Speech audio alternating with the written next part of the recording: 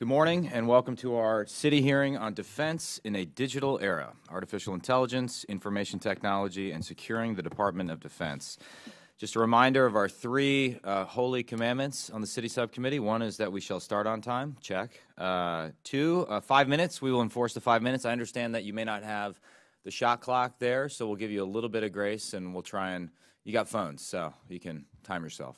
Um, and please try not to use uh, obscure acronyms and jargon. We want to communicate in simple and direct language that normal human beings in America can understand. Um, we are uh, pleased to be joined today by the department's Chief Information Officer, Mr. John Sherman, and the inaugural Chief Digital and Artificial Intelligence Officer, Dr. Craig Martell. I welcome both of you, and especially uh, Dr. Martell in your first appearance with the House Armed Services Committee. Uh, you both have very important jobs, and our job is to ensure that you do your jobs well. Uh, to underscore the stakes of your job and our job, uh, I would like to quote a recent report from our friends at the Australian Strategic Policy Institute, ASPI. Uh, quote, research reveals that China has built the foundations to position itself as the world's leading science and technology superpower by establishing a sometimes stunning lead in high impact research across the majority of critical and emerging technology domains, including artificial intelligence and key quantum technology areas. In the long term, China's leading research position means that it has set itself up to excel not just in current technological development in almost all sectors, but in future technologies that don't yet exist. Unchecked, this could shift not just technological development and control but global power and influence to an authoritarian state where the development, testing, and application of emerging critical and military technologies isn't open and transparent, and where it can't be scrutinized by independent civil society and media. In the, in the more immediate term, that lead could allow China to gain a stranglehold on the global supply of certain critical technologies. Such risks are exacerbated because of the willingness of the CCP to use coercive techniques outside of the global rules based order to punish governments and businesses, including withholding the supply of critical technologies. Unquote. Gentlemen, I'm concerned uh, that we are losing in key areas of the strategic competition with the CCP. I would prefer that we win. As we say in Green Bay, winning isn't everything, it's the only thing. So today, I look forward to hearing from you how we can fight smarter and win this competition. And with that, I recognize the ranking member, Mr. Khanna.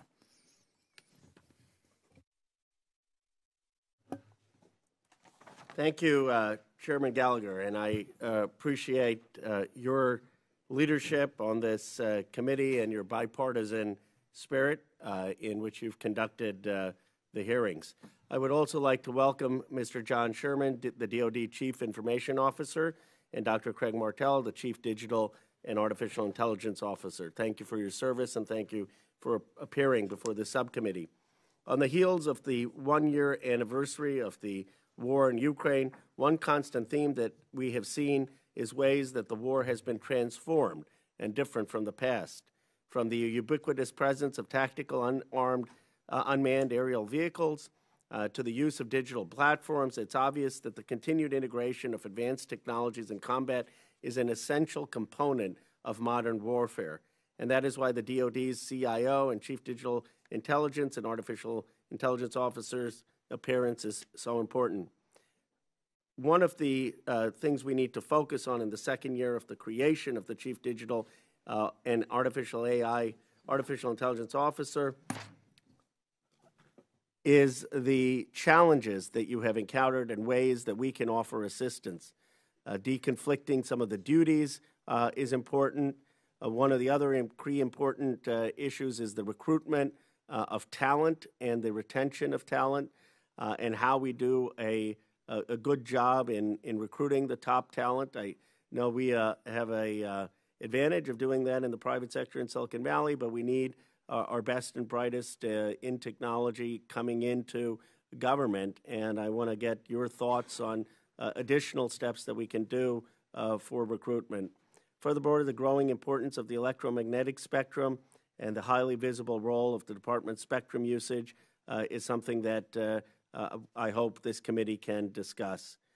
finally, I want, would like to hear your work about securing our networks and that of the defense industrial base. Uh, that is uh, absolutely uh, critical in any modern warfare. thank you again uh, for your, both of your uh, appearance before this committee. Thank you. Mr. Sherman is recognized for five minutes. Good morning, Chairman Gallagher, Ranking Member Khanna, and distinguished members of the subcommittee. Thank you for the opportunity to testify here today. Now, last summer, I also held the position of Acting Chief Digital and Artificial Intelligence Officer, Artificial Intelligence Officer, but as you note, sir, sitting next to me is Dr. Craig Martell, who is now the permanent CDAO. We're privileged to have him on the DoD team, and we work together on many key priorities that we're going to discuss today. All of our modernization initiatives are focused on ensuring the joint force is prepared to win against peer and near peer competitors. This means identifying and leveraging effective technologies and approaches to stay ahead of our pacing challenge of the People's Republic of China, as well as any other nation or group that might seek to do us or our allies harm. Succeeding in this space is why my team and I come to work every single day, and it is our overriding mission imperative. We also continue to take take in lessons on how the digital landscape is constantly evolving from the battlefields of Ukraine and elsewhere, and we endeavor constantly to strengthen our interoperability with allies and partners around the globe. Driven by these priorities, we have made key strides in digital modernization since I last testified before this subcommittee last year.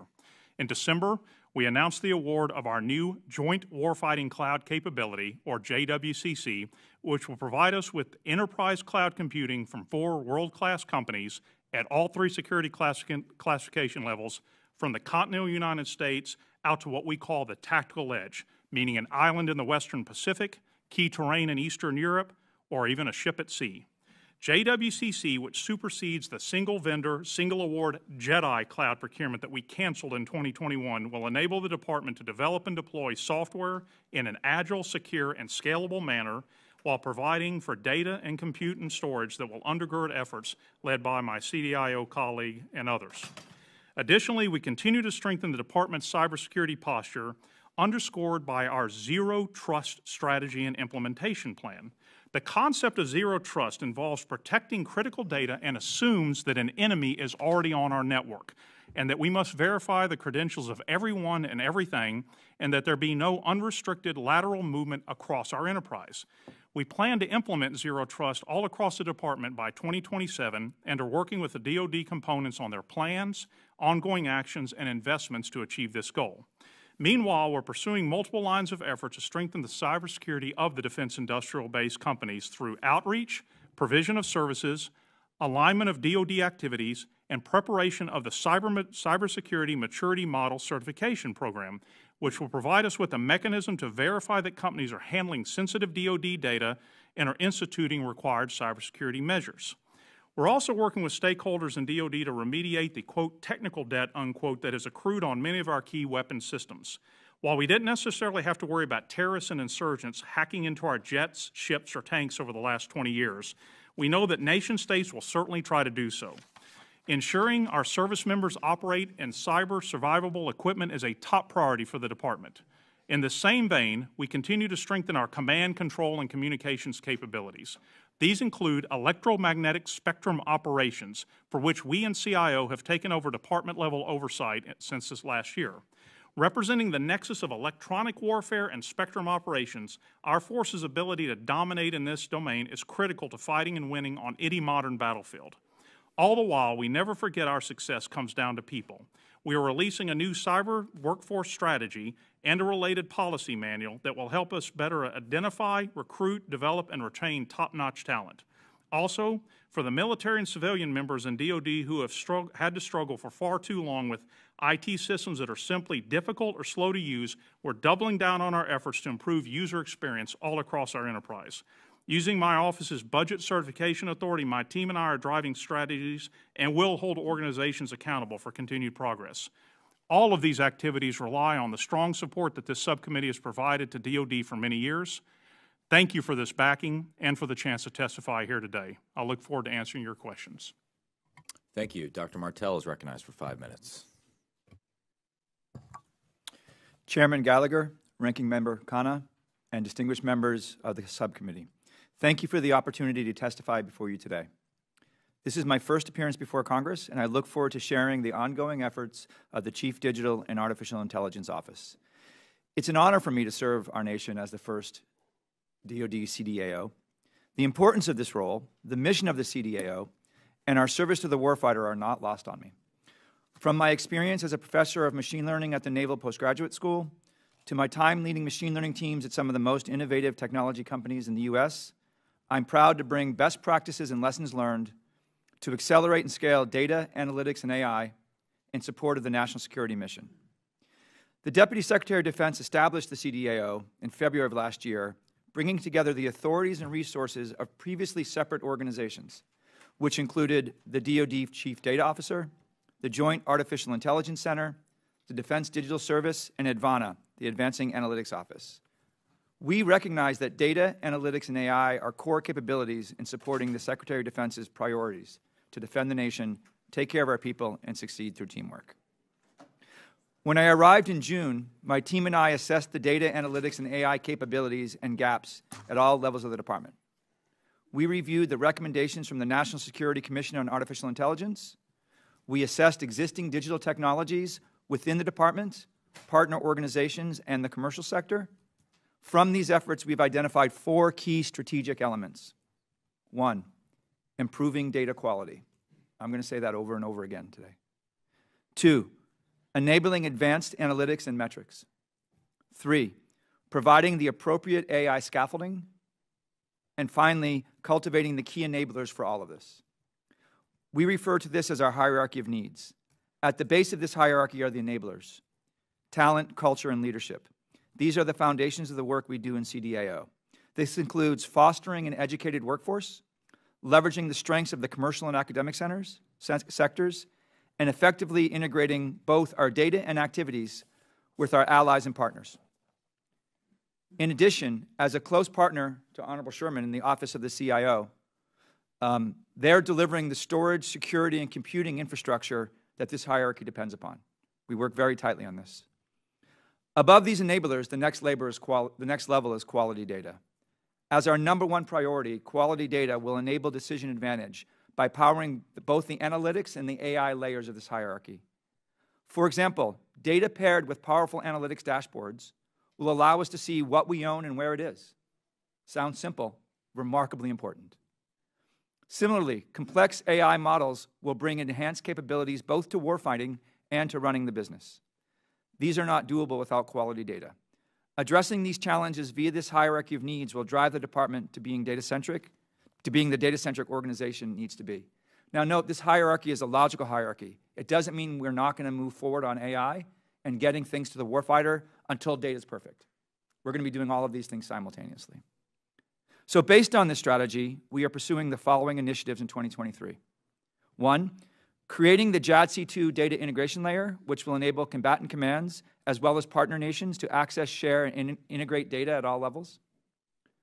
Two, providing the enterprise with the appropriate AI scaffolding, which includes the services and infrastructure most needed to accelerate AI development and adoption across the DoD.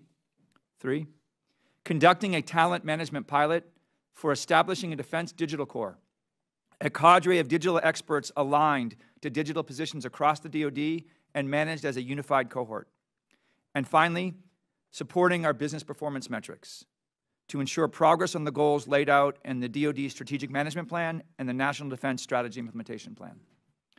I look forward to working closely with the subcommittee on these issues and others as we enable DoD's current and future use of data, analytics, and AI for national security. Thank you. Thank you. We'll now proceed to question and answer. Uh, I will recognize myself for five minutes. Um, Dr. Martell, you sort of talked about the, I think, uh, or hinted at the tension in your job, which is there's all these things we need to do over the long term. We need to improve, turn DoD into a data uh, centric organization. But in the short term, our warfighters, our joint warfighters, our combatant commands have needs. Um, uh, they have rising threats they have to confront. Um, at present, Joint All Domain Command and Control, or JADC2, textbook example of jargon, um, is increasingly siloed into individual service plans, which extends the timelines even more. Uh, as I understand it, the Deputy Secretary created your position primarily to help meet this urgent need that is, to rapidly deliver operational, data centric, and truly joint warfighting capabilities to the COCOMs, especially Indo Pacific Command. If this is your mission, and that's a mission I would support strongly, Can you just tell us clearly what CDAO is doing to deliver on it? You mentioned four things. Maybe is that what you would say? And if that is, what, what do you mean by scaffolding? Yeah, that's, uh, thank you for the question, Chairman Gallagher. Um, the, sorry. You're not in trouble. Okay. Did I do something wrong? I, I think fundamental to the problem of the JADC2 issue is that we think about it as a product or a destination or a particular capability. I don't think that's right at all. We, that's not how we look at it. JADC2 is simply a new way to do business. It's being able to get the right data at the right, the, at the right time to the right place so we can jointly exercise command and control across all domains, from sensor to shooter. So you mentioned that the services are stovepiped, but I don't necessarily see that as a stovepipe. They've built systems that work for their particular needs, and that's fine. We shouldn't want to stop that. We shouldn't want to dive deep into what they know how to do.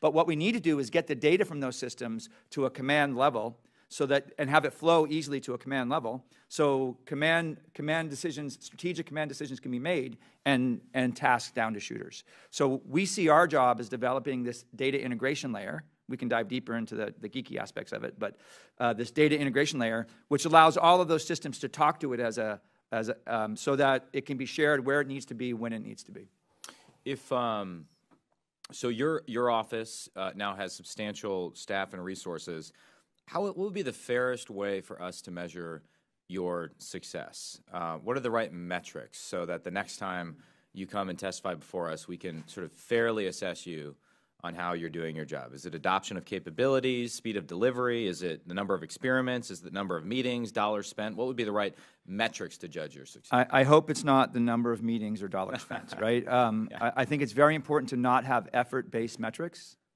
Um, we need outcome-based metrics. And so we think about, and, and to be clear, it's still unclear to me, that's a weird sentence, to be clear, it's unclear, but it's still unclear to me how we're going to um, measure these things all the way down to the levels that we need to. But what we're driving for is time to usability. If someone needs a new capability and we've provided the underlying scaffolding, how quickly can that capability be fielded? Um, amount of data-driven decision making, and we think about this sort of uh, uh, in a number of ways, but for an amount of data-driven decision-making per COCOM, per combatant command, mm. amount of data-driven decision-making um, per three-star forum. So we can actually measure these, these fora, and we can measure the number of dashboards being used, which is providing data to those fora. Um, and finally, um, uh, time to usability. How quickly, uh, so time to delivery is from a producer's perspective, we're going to get it to you how quickly can that then be used? So once it's delivered, if it just sits on the shelf, that's also not sufficient. It has to actually be used. So what sort of best practices and training do we have to wrap around that so that the warfighter can use it? Mm. I appreciate that. Um, Mr. Sherman, I may have to get to you in a, uh, a second round of question. Um, quickly, though, uh, Dr. Martell, can you just explain again, and, and just for, for a liberal arts major, what do you mean by the scaffolding that you're talking about? Uh, Thank you for the question, uh, Chairman Gallagher. Um, most people think about AI as a product that's delivered. I think those products being delivered will be delivered best by our commercial sector, but there are things that the DoD needs to do around that product that's being delivered that we're not doing.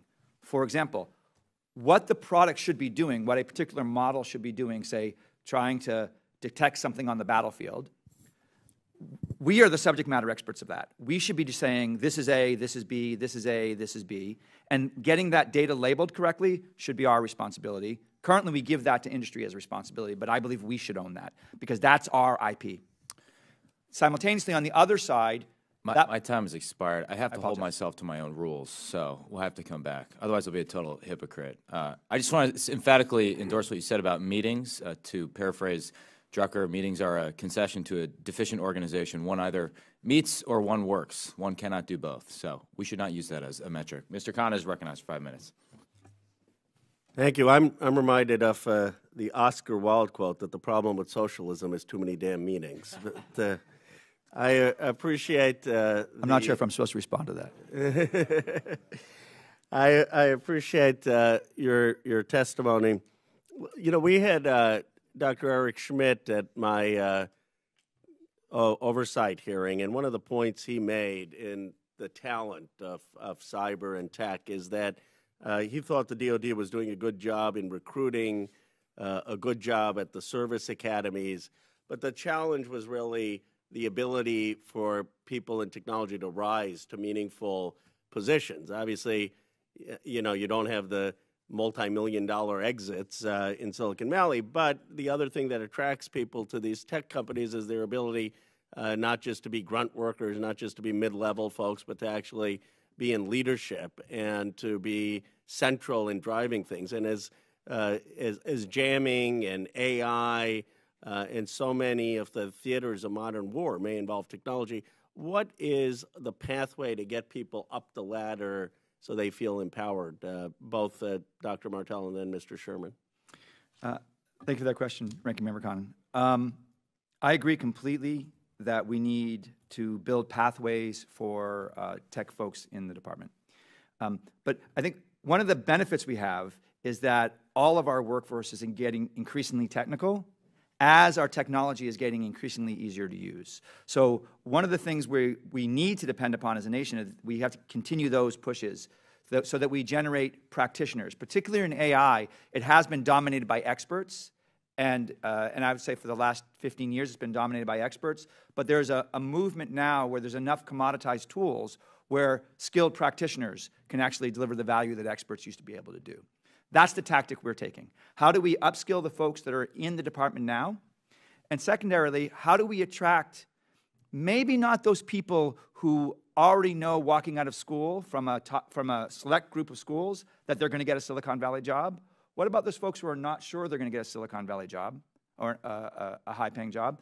That's still untapped talent in the United States. How do we create a pathway, an, uh, an extended apprenticeship, so that then when they leave um, working for the DoD or working for the government, they're actually significantly better and more attractive to those industrial jobs? I don't think hire to retire is the right solution. I think transforming them is the right solution. I appreciate that, Dr. Martell. But before Mr. Sherman, I would just say, though, that uh, you shouldn't aim just to have the top folks go to Silicon Valley and get the next layer. I mean, a lot of the top folks in Silicon Valley, like Vince Cerf, who's at Google, came out of DARPA, and it was really the Department of Defense that led so much of the innovation that came up with the mouse, that came up with drones, that came up with the internet, that came up uh, GPS uh, with GPS. Mm-hmm. So uh, you know, the, the, the hope would be that the best and brightest would still want to come to defense, and it would be the inverse as opposed to uh, going to Silicon Valley. Thank you for that comment, uh, Representative Khanna. Um, I think that's right. I think they'll be more attractive if we have a robust workforce in place. So I actually see this as a means to that. Mr. Sherman? And Congressman, I would just add to this a couple points. Using every, every, excuse me, every arrow in our quiver that have been given to us by you all in Congress, things like cyber accepted service and other hiring authorities where we can pay folks a little bit more, get them in the door more quickly and also think differently about how we manage folks' career and not the traditional 30 year come in the door and have the traditional step up the ladder there. Now, folks are never going to make the same amount of money in DoD. That's not what's going to bring them in here. It's going to be the mission protecting us against the PRC, putting ISIS back on their heels, those kind of things. I saw this in the intelligence community as well. But we have to think differently about the credentials that folks need to come in, things like apprenticeships, looking, you know, what are the degree requirements? Maybe a four-year degree is not required. Apprenticeships can be a way to go on this. And then very importantly, recognizing that folks are going to come in and out of the door here, and we have to partner with industry, and I talk a lot publicly about this. How are we going to do this where someone comes to DOD, then goes to industry in Silicon Valley or Austin or North Carolina or wherever and comes back, how can we do this without having the security folks' hit explode where they have to go through another year and a half or two years getting in the door? We're going to have to figure this out. And to that point, sir, we have a new cyber workforce strategy. that's actually coming out this week.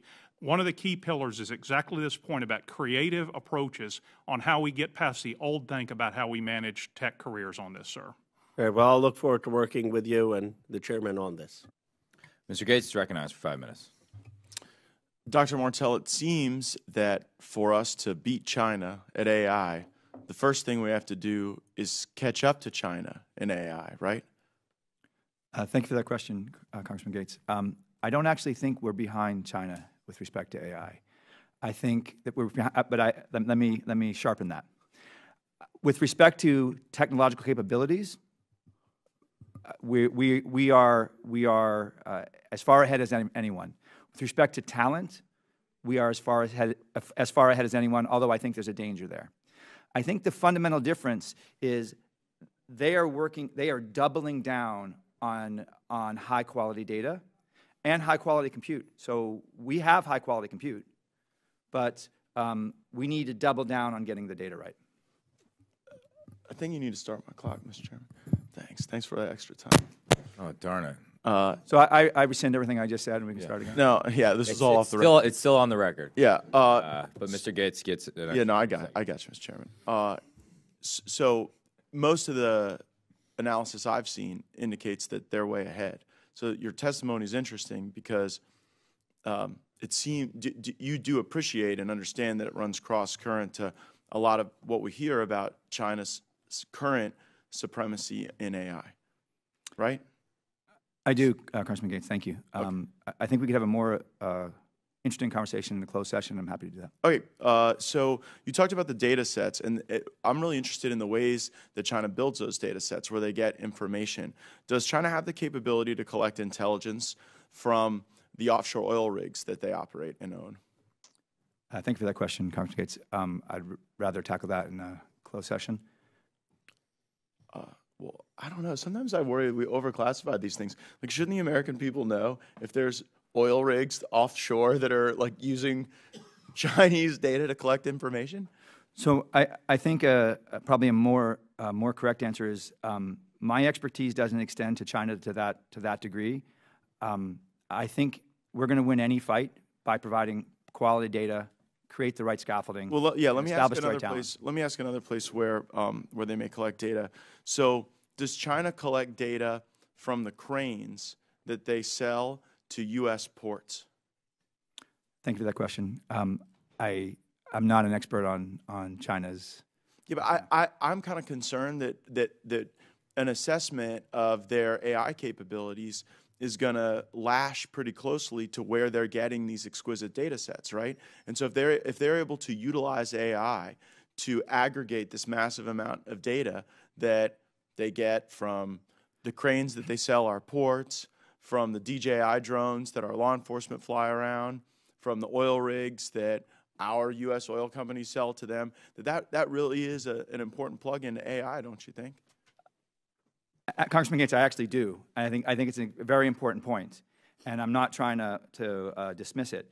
Um, when I said I, I don't think they're further ahead with respect to AI, I don't think they're further ahead with respect to the algorithm capabilities or the, tech, or the talent capabilities. Um, uh, in fact, most algorithms are commoditized, and anybody has access to them at this point. Um, if, if in fact they are gathering data from more places, that will in fact produce robust, ABI, uh, robust AI. And, um, and if we need to gather, we, we can have a really robust conversation about what data we should be gathering. I'm very open to that.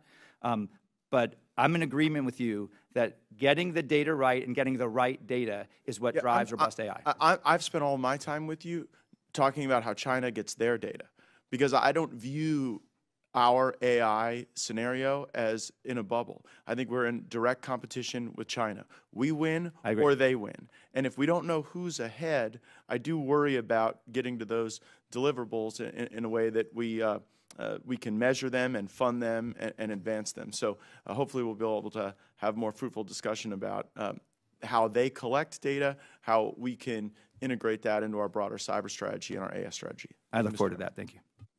Thank you, Mr. Gates. Before I recognize Mr. Ryan, I want to recognize the Stump family from uh, Green Bay, Wisconsin. They traveled all the way from America's district, the 8th District of Wisconsin, to listen to our witnesses and engage in this discussion about AI and technology. So it's very important. Thank you. Uh, Mr. Ryan's recognized for five minutes.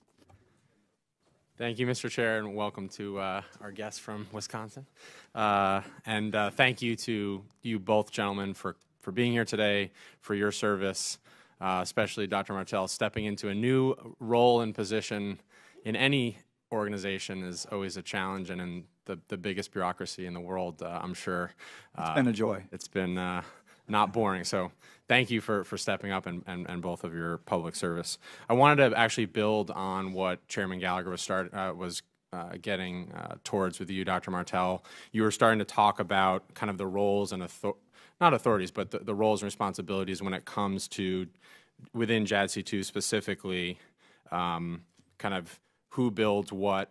You're talking about scaffolding, and you were beginning to say what you thought the role of commercial partners is. Could you expand on that and, and to to be specific and sort of where my what I'd like to hear from you is how do we, and not a new problem, but how do we work better with and enable, uh, particularly smaller and and um, less known, but I think often most talented companies to plug into the scaffolding that, that we're building? Uh, thank you for that question, Congressman Ryan. Um, one of, one of the things that's surprising was surprising to me when I got here is is how acquisitions works. You you set out a bunch of requirements, and then five years later, a product is delivered, and the world has changed drastically in those five years. That's the sort of thing we're trying to tackle. We're trying to be able to be efficient, um, flexible, iterative, iterative, and experimental. So our goal is to get a data layer which allows for data to flow from any point to any other point and then apps can sit on top of that data layer. So a particular uh, combatant commander, a particular commander might want an app from one vendor, and another combatant commander commander might want an app from another vendor. And um, we need to see that data layer as the, the underpinning a marketplace that allows any vendor to show up and say, I have a solution for this particular problem. I think that's um, a much more iterative way and experimental way to get at to get at this as opposed to saying every commander, you get the same thing. When the commander uh, out, out, on the ground might need something very different than something in a maritime domain. And we need to uh, allow for that marketplace, both for the big players who produce real value, and particularly in the AI space, three guys in a garage might actually change the game, and we need to allow that to be available to them as well. I agree. My concern is time and urgency. I mean, we've heard many different timelines for potential major conflict, particularly with China, and none of, building a data integration layer um, against a bureaucracy that's not used to doing that. I mean, how do you, how quickly do you think we can build that? What can we do as as you know, in our role as members of Congress to enable that, to accelerate that? What authorities do you need? What resources do you need? Uh, thank you for that, uh, uh, for that offer, Congressman Ryan. Um, I'll take it as a question for the record for probably the end of the year to get back with you with more specifics. Right now, we're undergoing the GIDE experimentation series, which is global information dominance, where we're actually testing these things. We just did. We just finished one. We're doing another one uh, next month, I believe, um, with a key partner being INDOPACOM, and understanding how what we've learned, for example, uh, at EUCOM, at European Command, might be applicable in a maritime domain like in INDOPACOM. Like, uh, so. Um, we'll have the point of those exper that experimentation is to come up with a capabilities gap analysis so we can actually answer those sorts of questions for you. Great. Um, thank you. Um, I'm running short on time, uh, uh, Mr. Sherman. On cyber talent management, could you just uh, continue to expand on that? Are there additional authorities? You talked about the cyber accepted service. Are there additional authorities or tools that would be helpful to, to advance that mission? Congressman, I think we have the tools at our disposal, like cyber accepted service and targeted local management supplement, which is additional funding we can or pay we can provide to folks in, in certain areas. I think we just need to continue to use these authorities and continue, sir, to work with industry, you all in Congress and elsewhere as we generate ideas about how to think creatively about a 21st century workforce. Some of whom may come in for a long career, but others very likely are going to come in and out. As a matter of fact, we're going to want them to do that for careers like data scientists and others to not stay in government their whole time, but go to industry and come back and figure out how we can do this in an agile way to stay ahead of the PRC and others. I appreciate that. I, I'd encourage you think creatively if there are additional tools and authorities i think you're hearing from us we want to give them so please come back and i yield back my one second uh, oh great use of time next up uh, the son of notre dame Dr. mr fallon thank you mr chairman um, you know when we talk about securing our networks against our adversaries, our enemies, it's absolutely, you know, I think it's critical that we understand exactly what we're up against and where our vulnerabilities may exist. It, it doesn't do us much good to invest billions of dollars in security if there are entire swaths of our network that remain open and vulnerable, of course, to hostile actors.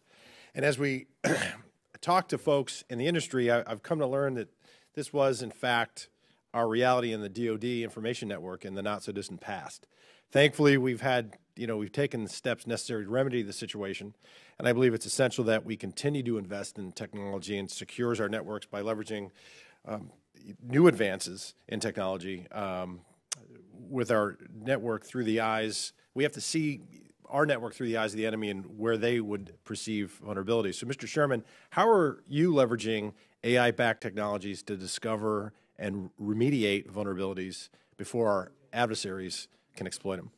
So in terms of AI-backed technologies, the main place we're going to apply that is what we call the big data platform, where we bring data together to assess what is going on on our networks. But sir, if I could say, AI is just part of this. It mm-hmm. really is, to your point in your question about what we know the other side's doing, is the partnership I have with General Nakasone at U.S. Cyber Command and the National Security Agency to get threat-informed intelligence about what the other side, China, Russia, et cetera, are doing against our networks. And also, again, AI undergirds some of this, but it really is that zero trust approach I noted in my opening statement, and statement where we assume an enemy's already on our network. The burglar's already in the house. And how do you prevent them from moving laterally throughout the house? And using what's called identity credential access management, where it has to be verified, someone's identity along the way, to make sure that they can't move to get to your most critical data. So it's a new way of thinking about cybersecurity, not just at the perimeter or not even a defense in depth, but a whole new way of thinking about you don't trust anything or anyone.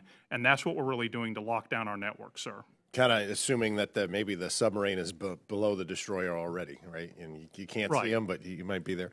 Uh, Dr. Martell, how do you see AI developing as a component of the DoD's cyber mission? And uh, also, how can we remove barriers to entry for companies developing and deploying AI? Uh, Thank you for those questions, uh, Congressman Fallon.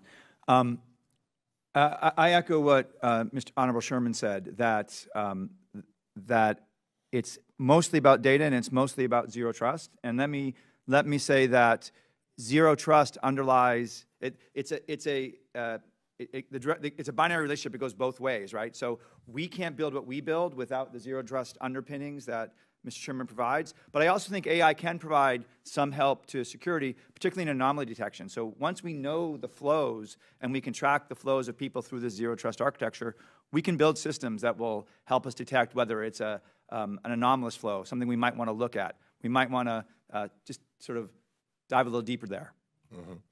And uh, Mr. Sherman, as far as recruiting talent, you know, we have people come into our office, and it doesn't matter what industry they're in, they have labor shortage, they have labor need, and now we're not even uh, meeting our recruiting goals. I also sit on the Armed Services. Uh, uh, uh, we, I'm sorry, I, I, we learned that last year in Armed Services that the Navy, the Air Force, the Army weren't hitting the recruiting goals. So where are you all with the labor? And you just mentioned about attracting that talent. How do you attract that talent? And uh, because it is competitive, and, and they can make so much more on the outside. Sir, that is exactly what we've been getting after as well with this new cyber workforce strategy. We have something called the Dis- Defense Cyber Workforce Framework. It sounds bureaucratic, but it's where we've taken all of the 70 plus work roles in cyber and digital and with a fine, gra- fine tooth comb, and much more granularity than you would see from the Office of Personnel and Management on exactly the sort of work roles where we're going low or we're right where we need to be and we might need to uh, apply some new incentives, kind of with the rheostat of adjusting where we're getting low on maybe cyber defenders or software coders or whatever. And this has been a key tool we've implemented. We've added AI and data work roles. And this has been enlightening for me as a CIO about the levels of specificity we have to have to make sure when you start to see a kind of a warning light, hey, we're getting low on this type of work role, we need to apply some cyber accepted service or other types of uh, market supplement we can put against this. It's been a lot of pick and shovel work, sir, but now we have a foundation to really look across a dashboard to see where we are, particularly with our civilian, but also working with our military workforce. So I would say we're making a good start on this. We've got the tools we need and applying the authorities you all have given us to, to address shortfalls.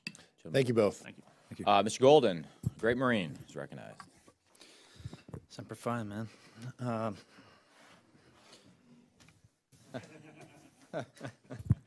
sounds like a bad thing. Um, Dr. Martell, in your prepared remarks, you, you talked about uh, the cyber workforce framework and you uh, referred to a pilot uh, for Defense Digital Corps program. Yeah. Um, I, I want to, obviously, the, the goal is to foster digital talent, and everyone's we've had several rounds of questioning there. Uh, so the National Security Commission on AI previously uh, advised uh, that uh, perhaps there should be a digital reserve corps, which I think would be a nice complement to what uh, you're talking about having a, a digital uh, corps. So is that something that you've thought about? Here in the House, the For Country Caucus has been pushing for that. We, our caucus of all vets, Tony Gonzalez uh, ha- has been the lead on that.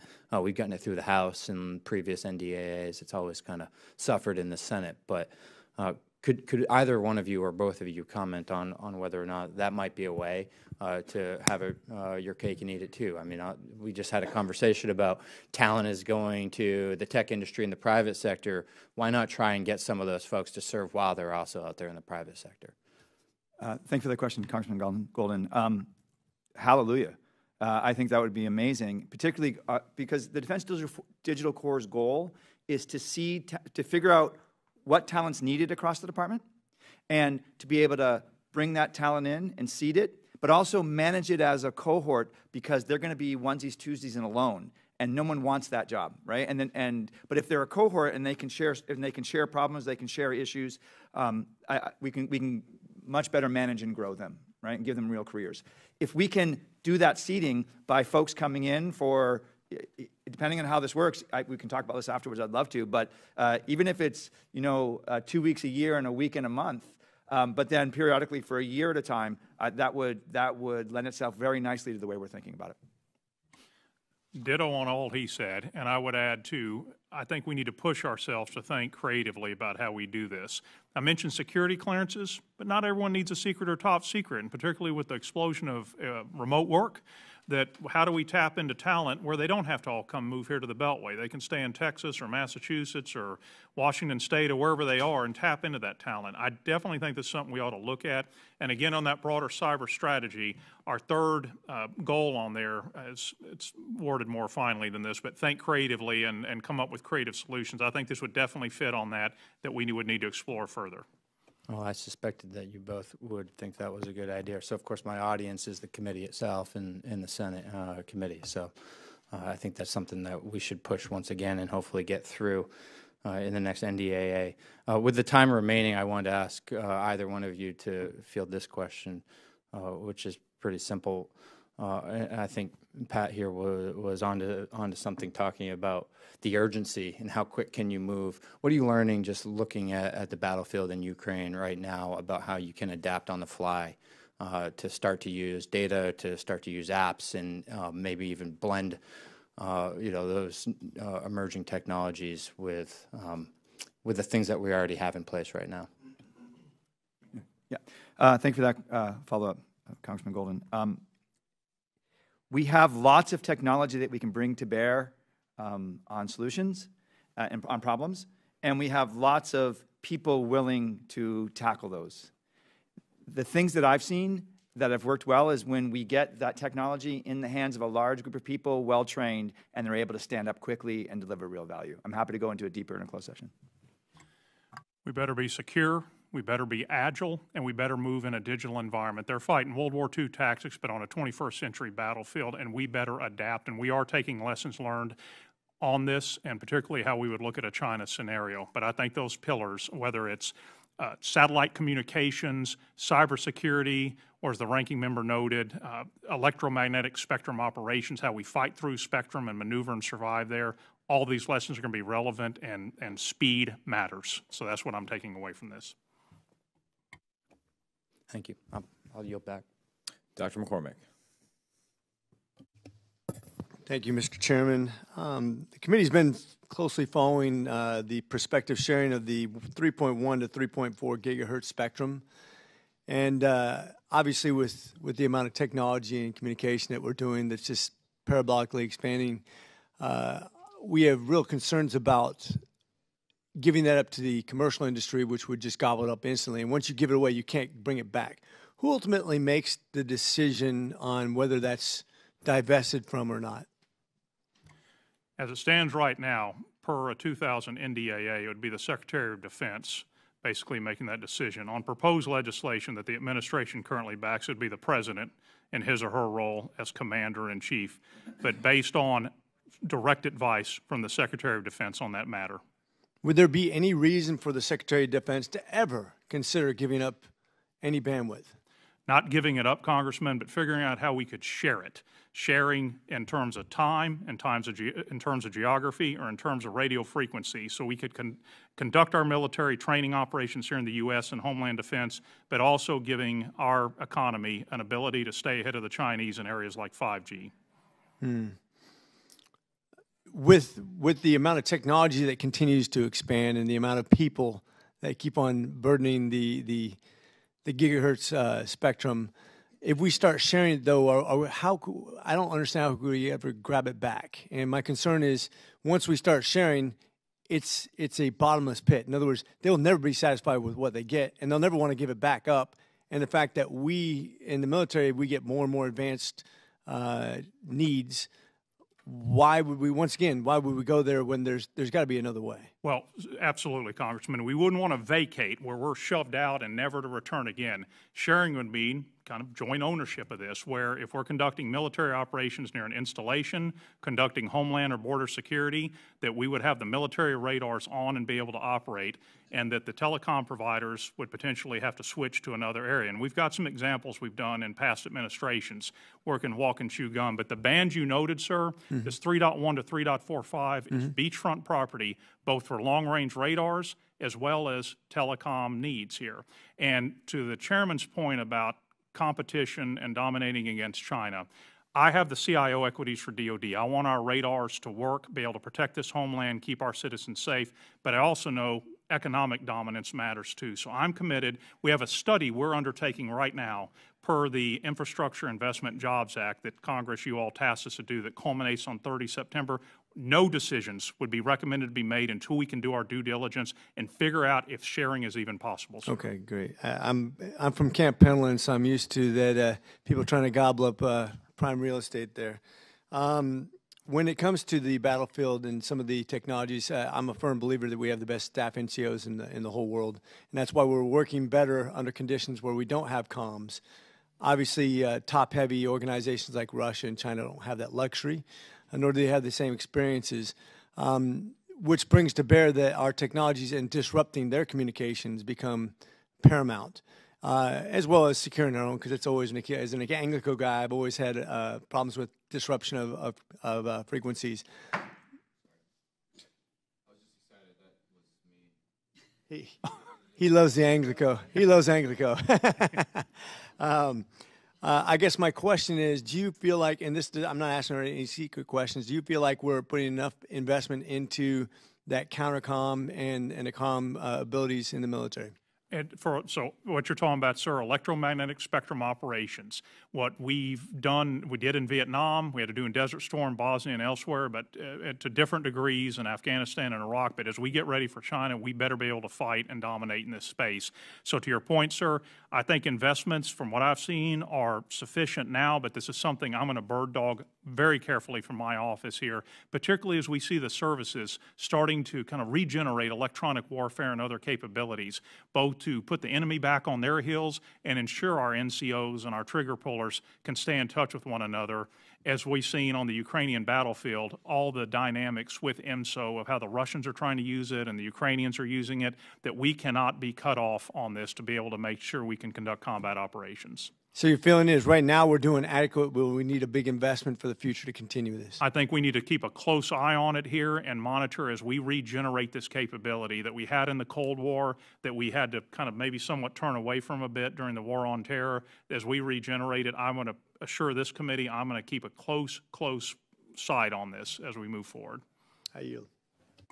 Well, apologize for that. I got I got carried away with the gavel, like like the ring of power. It ultimately corrupts. So I recognize Mr. Luttrell. Keep it handy. Uh, gentlemen, thank you for being here in front of us today. You talk about data quality as one of your, as one of your pillars, and, and, I, and I absolutely understand the importance of data quality. But uh, as we move forward here, aggregating the data is obviously what's most important because you talk about sensor to shooter.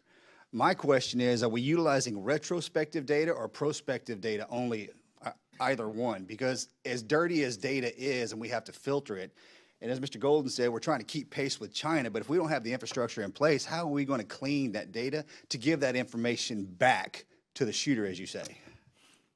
Thank you for that question, Congressman Luttrell. That's a, um, um, a, a, a, a can of worms in a, in a number of ways, right? So, so do we wait till the data's clean before we act? No. So we're going to have to act on dirty data until we until we get it right. Um, um, one way we tackle this is to say no new bad. So we know that we have to deal with the, the past stuff, the, the systems and the data that have been built, that have been built in, in ways that are, are not up to snuff. Um, but we need to make sure that things going forward are, are doing things right. So part of the way we think about this is as we build up this infra, new things that we bring on board are doing data right. But we absolutely do have to go back and uh, recontract as contracts come up, as, as we have to reacquire things. We have to, part of what we're going to deliver are the contracting vehicles that allow folks to specify this is what good data looks like and this is what getting, getting data looks like, uh, getting, getting it right. And the other thing I just want to add is um, distributed governance uh, and building CDO structures down through the components is extremely important to this. It just it, seems- has, it has to be aligned with incentives. It seems like such a slow process considering the silos that we all work in, especially in government. It's, ap- it's absolutely a slow process, sir. Um, but so we have to be able to do that slow process and get it right while simultaneously um, still allowing for new folks to deliver value. I, that, that's, that's a balance that we're going to have to strike. There's not going to be a way to, to snap our fingers and just have it get it right fast. Sure. Um, this is going to be a follow, but we, you and I are going to have to meet because this, this, this is it, it's sitting on a panel with a bunch of shooters right here. Um, who's setting the inclusion criteria for the data that's inbound?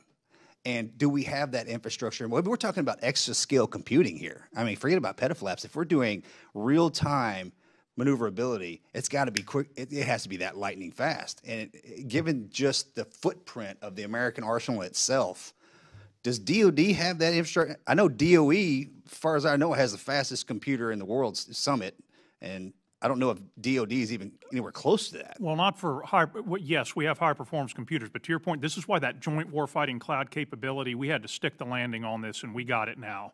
With four companies in no particular order Oracle, Google, Amazon, and Microsoft, all bringing their cloud computing capabilities, and sir, and I know you're familiar with this, out to that tactical edge. And that's where we're pressing, whether it's out on an island, inside the first island chain, or somewhere in Eastern Europe or Sub-Saharan Africa to be able to have with special operators or whoever cloud computing capabilities, OCONUS as well, state of the art. And this is why JWCC, and as we move past that Jedi cloud procurement that had all the issues, that we have this now, and we're going to have it at all three security classifications, up to top secret, which is going to be a game changer on this. And that's why this has been so important, sir. Is there a beta test in in process progress right now, or a scalable program that's in place that you can that we could see so in real time? Um, what we could show you, we have cloud capabilities already underway in the department. And the I'm, I'm talking all the way from where I can reach out to I can reach out to a operator on the ground saying this is what I I'm receiving this. I think we could show you that. And the other thing, sir, I'll tell you, we're building off what the intelligence community has pioneered. And I know you've likely seen some of this yourself, sir. So we're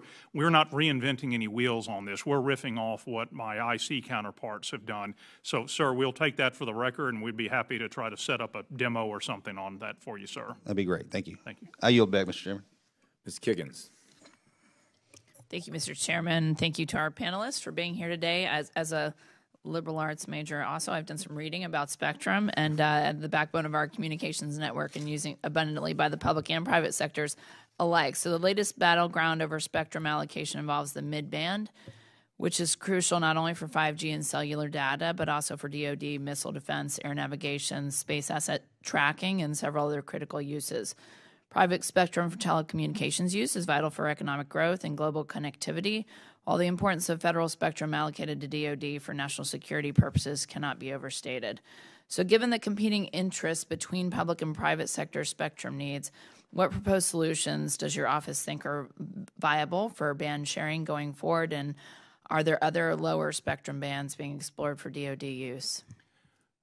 Ma'am, we're to the study we're conducting here on that 3.1 to 3.45 gigahertz. That's beachfront property. I said for the radars as well as the telecoms. We have a study underway, culminates on 30 September that we've been leading since last year. Sharing, not vacating, not where we get kicked out of it and where DoD has to go find some other spectrum, which would be very difficult. But how do we walk and chew gum and figure out again from geography, uh, time, and radio frequency use, how do we make all this orchestra work together with the telecoms in this highly congested but highly desirable space? Uh, we're examining this right now, and we would note that this is one of the most difficult parts of a band analysis we've ever done, just because it is so desirable both for long-range radars to acquire missiles and so on, but also for 5G propagation. So we're studying this, but what I just talked about, those three principles of time, uh, geography, and radio frequency, are what we're thinking.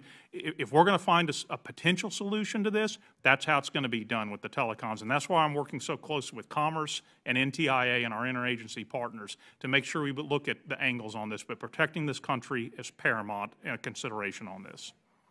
Good, thank you. And then I, uh, I have couple bases in my district. I represent Virginia's second district, so Master Jet Base Oceana. Just listening to users over there, and I don't know if this is the the the right venue to ask, but I just want to communicate some complaints of those guys when they got a lot going on, right? They're training to fly, they're flying jets over there, but they complain about the computers. And and when you ask them what are, what frustrates you about your job, what can we do better? It's the computers and it's the time to log on, and I don't know, it's the security portals that they have to go through. It's the Wi-Fi capabilities. It's the age of the equipment. So it's it's for me, it's the little things. We talk about quality of life and recruitment and retention for our armed forces, and and that's what they communicate. I mean, number one, it's infrastructure is a big one, but but I mean, computers is the second thing that they that they tell me. So I'm assuming this is your department. I mean, are those things that those little day to day things for those end users that they just show up and and they want to go home to their families at night too, and they they get frustrated and uh, and I want to do better for them. So so how can you help me do that? So we're going to lean in, and the term we use is called user experience, but really it's the fix our computers piece at what you're getting at. And I got to tell you, for my however much longer I'm in this job, this is going this is a top priority here, and we already have some wind in our sails on this as the budget comes out here shortly. Uh, some investments we're making. It's a multifaceted problem. It is, yes, some new hardware. It is, yes, having uh, uh, cybersecurity scans that don't conflict with one another. It's having fiber on base down right. in Norfolk or else. It's not having dated hardware like routers and switches and right. stuff that have been allowed to atrophy. Right. It's a multifaceted problem. And just yesterday, ma'am, I was talking to the Air Force's chief experience officer about how we do things like measure and not just go anecdotes, because I hear a lot too from the sailors and airmen and guardians and everybody else. But what can we do to really monitor the network to know when the spinny wheel is happening yeah. for the uh, the sergeant at Fort Eustis and she's trying to get her maintenance report in? We we're going to get after this because we're not going to fight with one hand tied behind our back, and it is a quality of life issue, ma'am. And I am dedicated to getting after this. Thank you so much. Please make yeah. that a priority, and I yield back. Thank you, Mr. Deluzio. Mr. Chairman. Uh, Good afternoon. Good morning. Lost track of time of day. Good morning, Mr. Sherman, uh, Dr. Martell. Thanks for being here. Thanks uh, for your work and your team's work to protect uh, our information technology, cybersecurity, uh, our networks. I think folks often don't understand what goes into that good work. Uh, so thank you. In our full committee hearing yesterday uh, with Northcom, Southcom, Assistant Secretary for Homeland Defense and Hemispheric Affairs, one of the issues we touched on that I asked some questions about was defense of our critical infrastructure which I think is a place that obviously touches defense, but certainly homeland security and other other parts of our you know, vital defenses here. Um, and we talked about you know, not just malicious actors in China and otherwise, um, but one of the, some of the challenges coming from the fact that much of our critical infrastructure is privately owned. It's not just under public control. So, Mr. Chairman, I'll, I'll start with you. If you could talk about what those challenges are, what we can do better, what you know this subcommittee and our committee should be thinking about. So the biggest thing is just what you said. We're going to take this seriously here. We need to work across the interagency as we work with Homeland Security, CISA, my friend Jen Easterly over there, I've worked with her for years, on how we work across all the industrial sectors. Now, for us at DoD, the defense industrial base piece, the defense critical infrastructure is where my line of sight is, but this is going to take a whole of government, whole of industry, and folks taking it seriously. And this is where we could con- continue to use your assistance here on the subcommittee and the broader HASC, is making sure CEOs and others don't see this as a nice to have. We saw Colonial Pipeline two years ago and other places, that this isn't just a blinky lights uh, uh, something that you can invest in if you want to. This this is critical. The, uh, an, an, adverse actor can take down your entire, whether it's a pipeline network. We've seen technical debt and things like with air traffic control and th- things that have happened recently. We've got to take this very seriously. So, Department of Defense, we're focused on the Department of Defense information network, but also our critical infrastructure. And one thing I have is budget certification authority, where I can hold services and others' feet to the fire to make sure they're having appropriate investments and we need to do better on this on areas like defense critical infrastructure to make sure we're protecting that piece of our enterprise as well, sir. Well, as a follow up, you know, how, how would you, and for folks who aren't as dialed into what it is we're discussing, the work that goes into defense of critical infrastructure, how do you compare where our defense industrial base is relative to other components of our critical infrastructure in this country? Sir, I think that would be hard from my seat as the DoD CIO to do a holistic looking across energy, yep. automotive, and everything. I will know that say that uh, in the defense side, we know that's where the Chinese, Russians, and others are trying to expropriate plans, blueprints, and everything else, and really trying to help uh, work with that industry to lock that down. I would just add working with our interagency partners uh, on all the different areas, raising awareness of this. We have a new national cyber strategy. There's been other executive orders and so forth, working with you all here in Congress to raise awareness about this. And we've had some notable incidents, I think, that have been in the news that are raising uh, companies' awareness. So we have to keep up the press and not stop on that. And I'll ask maybe just one more follow up is uh, pieces of the way that we ensure cybersecurity in the defense industrial base do you think have application to other components of our critical infrastructure and other sectors? I think it absolutely does. As we uh, have standards that I know some may see as onerous, and we're working with industry to not make it onerous, but to make sure there's there's something we can all hold ourselves to account in implementing basic cybersecurity. The National Institutes of Standards and Technology, which I know sounds bureaucratic, has standards to be able to apply on basic things on principles like two-factor authentication end-to-end encryption and things that all companies ought to be able to looking at to do. And I grew up in South Texas and an area where we had a very small family company. I know how it is to have federal regulations land on somebody in Victoria, Texas or elsewhere, but we've got to be thoughtful about whether it's a small company or a big one that everybody should take responsibility on this. Okay. Mr. Chairman, thank you. Uh, Mr. Chairman, I yield back, and I, I, think I did use two acronyms, Northcom and Southcom. I, I apologize. It's going into your social credit score. Fair enough. Um, Mr. Lalota. Uh, thank you, Mr. Chairman. Uh, gentlemen, appreciate you being here, your leadership, your dedication, sharing your experiences with us. Uh, I represent a suburban district east of uh, New York City, uh, 750,000 people in Suffolk County. We, Mr. Chairman, are America's district, and uh, appreciate the dialogue we have here today. Um, last September, the government of Suffolk County suffered a cyber attack uh, that shut down many of the government services that my constituents rely upon. Emergency dispatchers had to take down 911 calls by hand. Um, we had no access to the geolocating function that's typically uh, normal there. Police were forced to use finicky radio transmissions and call instances, uh, and that uh, no access to email reporting uh, from the field. Contractors were paid in paper checks. That created a huge backlog of services um, in the county. At the county's traffic agency, people were unable to pay uh, pending tickets, which created extra fees and became a, a huge hassle in Suffolk County. Uh, in addition to the major shutdown of, uh, of government services, the hackers who claimed responsibility for the attack threatened to slowly leak sensitive information uh, that the government uh, had at hand. And unfortunately, the situations like this aren't unique to Suffolk County. We are constantly hearing about cyber attacks, data spillage, and ransomware and phishing throughout the country uh, almost on a daily basis. Uh, and if hackers can have such an effect on my county, um, I fear that there could be a larger government entity, a state, or God forbid, our federal government be subject to a similar attack. Um, the Office of the CIO, as I understand it, was responsible for the DoD IT enterprise uh, cybersecurity. I too am a liberal arts major, so I'm leaning a little bit into this as well. Um, and I do understand that you have protection over our uh, unclassified uh, and classified networks. Uh, so my question is this um, to both of you, please, gentlemen. Uh, what is your office doing to gather lessons learned from these state and local attacks uh, to ensure that uh, their prevalence, their impact uh, is reduced prospectively? Sir, we work closely across the interagency. I mentioned DHS and CISA, for example, uh, in, in Department of Homeland Security to learn about and the very unfortunate attack against your district there, sir, and elsewhere, where we hear about attacks against schools, industries, and elsewhere, and what we call the targets, or excuse me, tactics, techniques, and procedures. TTPs is the government acronym on that, on how the adversary is is using these these mechanisms to employ ransomware or to hack into systems.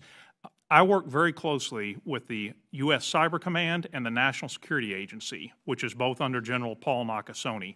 And from them, I not only get the, the cyber aspects, but also the threat-based intelligence of what state and non-state actors are doing and how they're operating and evolving. This is something I do every week and multiple days a week working with them to understand how we ought to be defending differently I mentioned earlier about a concept called zero trust, where we assume an enemy is already on our network. This is the state of the art on, we've talked about it for a while, but we're getting after it at the Department of Defense on not just the old perimeter, defend at the castle and moat, and not even what we call defense in depth, but really preventing an adversary's ability to move across a network and hold data at risk as what happened in the attack you described, sir. So we must be a learning organization and stay very up with the threat-based intelligence on how an adversary is going to operate. Can you describe what your interactions are or will be with state and local governments to that end? I understand that you've properly explained the big picture on what the issue is and how it should be attacked, but uh, I fear that that information, that guidance, uh, isn't getting to the local officials where the rubber meets the road? Sir, my interaction would not be direct. It would be through the Department of Homeland Security who would interact with the state and locals there. And also, maybe obliquely, where we have, of course, U.S. military installations and garrisons that are relying on defense critical infrastructure power and so on coming onto those garrisons and bases and so on. But primarily through DHS is where that interaction and where I'm going to be hearing about what's happening in your district, and also where, if we're seeing something from a national security perspective, U.S. Cyber Command working with them could share that from a national security perspective. Thank you. And uh, switching gears for a moment, uh, Congress required the Department of Defense to establish a comprehensive framework for the cybersecurity of the defense industrial base in Section 1648 right. of the uh, 2020 NDAA. Uh, this report was a full two years late um, and yet didn't seem to address a host of problems that still seem apparent about how the DoD uh, manages the defense industrial base cybersecurity. Um, did Section 1648 force any lasting change to how uh, the department manages its support to the defense industrial base? It absolutely motivated it, and we've got to keep doing better on this front. As we conduct outreach to the defense industrial base, as we organize ourselves internally, there's over a dozen DoD entities, large offices, that are touching this sector here to make sure we're organizing properly and not double double uh, communicating or sending conflicting messages, and also offering services as to the defense industrial base. For example, the National Security Agency's Cybersecurity Collaboration Center works has uh, uh, service. Your, your time has expired. However, I was going to ask that question in the second round. So why don't we plant a flag there, and we'll come back to it. Roger, sorry, we'll be right audible. I'm a rule follower, I'm a Catholic Marine, so I'm sorry. Uh, Mr. Keating's recognized for five minutes. Thank you, Mr. Chairman. I just had one uh, strain of questioning. Uh, thank you both for being here. Uh, I noticed, Dr. Martell, your background on the private side.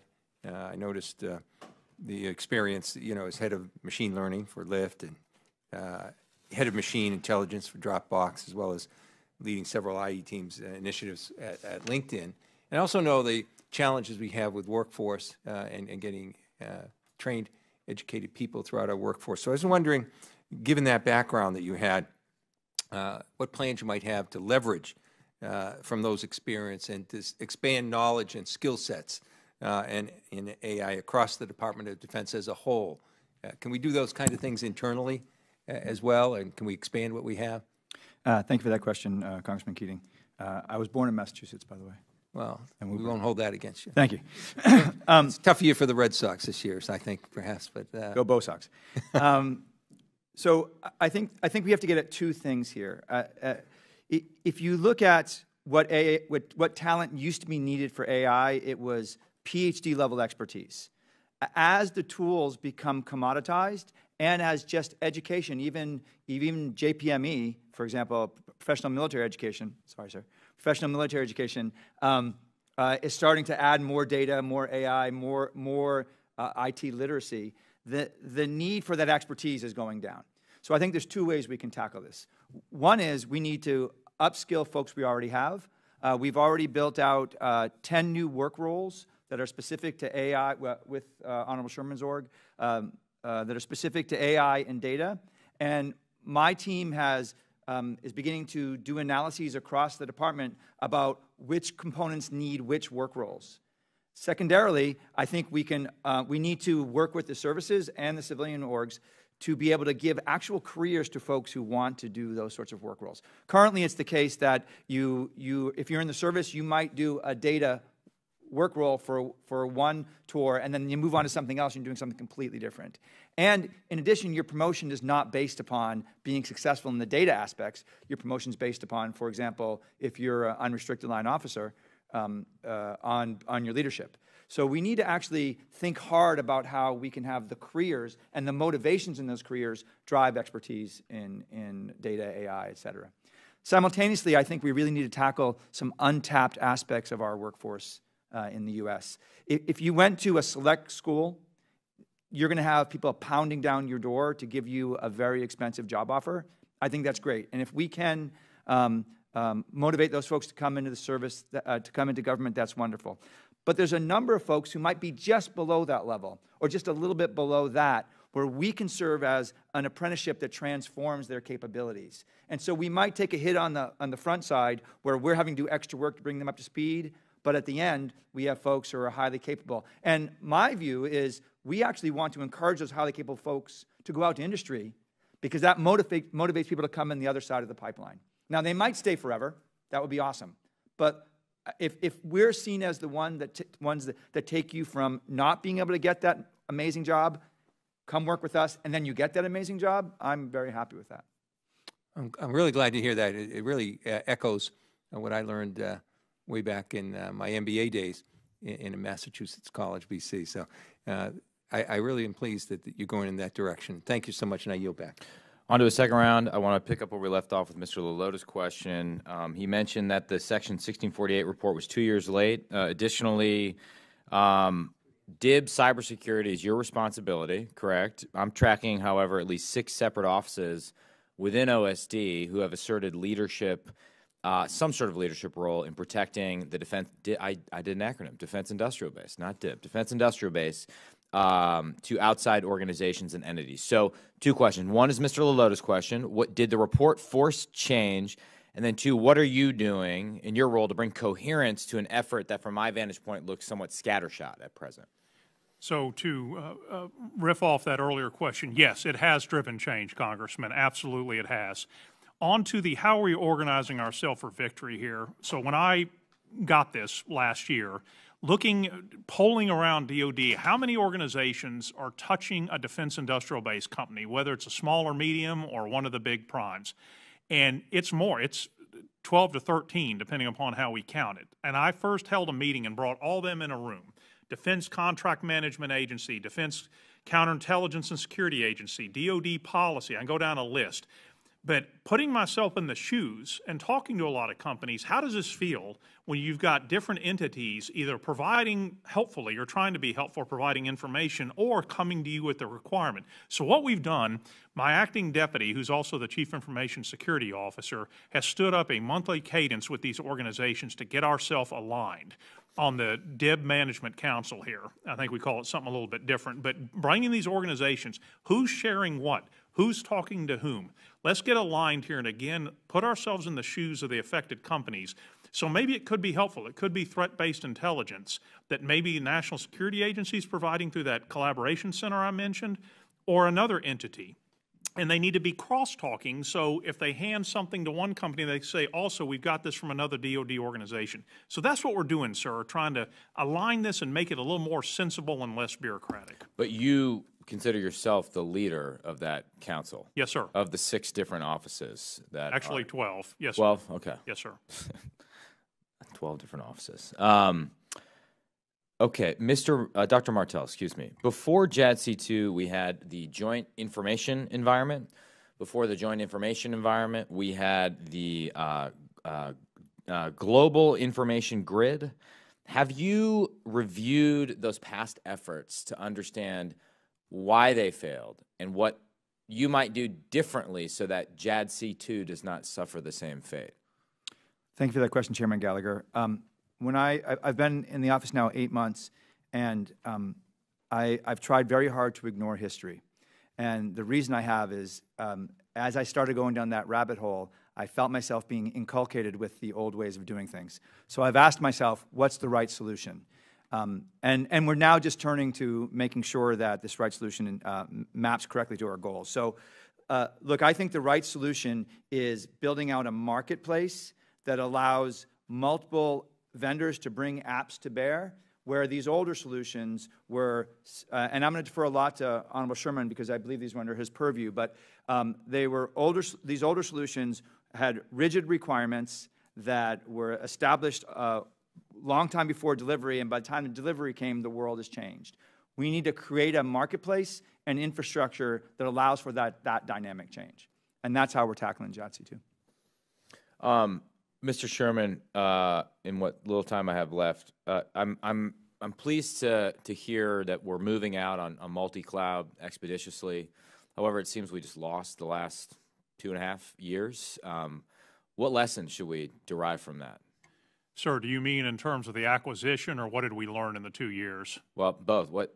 So, What this is one area here that uh, that yes, as a U.S. government, it shouldn't take us this many years to get enterprise cloud for the Department of Defense. And we mention about the the CCP, and if uh, Xi on that side says something, I, I, he needs something that quickly, he'll have it very quickly. We have to do better as a whole of government here in being able to procure and acquire services for the Department of Defense.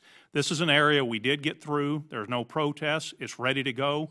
But this is something that, frankly, sir, we should have been able to do more quickly and uh, without all the bureaucratic and other issues that came up. Now, on the the functional piece, the upshot here, we have what we've learned on the intelligence side with their multi-cloud, multi-vendor approach, and then also within the military services, uh, their own cloud efforts. You hear terms like Cloud One and others. That's the Air Force effort. We have a lot of lessons learned we're integrating into this enterprise cloud effort. So we, we're, we're, we're not at a standstill. We have a running start from what we did there, sir. Um, my time is about to expire. Mr. Khanna, uh, Mr. Keating, Mr. Luttrell, you have any more questions? You guys got off easy today. Um, well, with that, uh, I, I just would emphasize um, a couple points as we close. One, I think you saw a lot of interest in uh, uh, in sort of general talent management and whether we are adequately using the authorities that Congress has given you, particularly cyber accepted service authorities. I know we talked about that earlier this week, Mr. Sherman. So I'd like to develop some sort of routine process whereby you can come and tell us, here's how these authorities are being used, here's what we're learning, and here's you know where we may need we could expand it or maybe we can't expand it. So I just would hope you would commit to that going forward. Um, and then Dr. Martell, uh, we, we had a little bit of a discussion about metrics. I just would encourage you to think through and, and would welcome a follow-up discussion on what is achievable. I recognize that, you know, the Pentagon's a massive aircraft carrier. It doesn't turn on a dime. But what is achievable in the next two years? What can we really deliver to our warfighters within the next two years? And so I'd be eager to work with you on what are fair metrics in both of those areas uh, going forward. Uh, and with that, the hearing is adjourned. Oh, we're going to move into a closed section. Closed briefing. And now the hearing is adjourned. There we go. Good thing I didn't hit the gavel.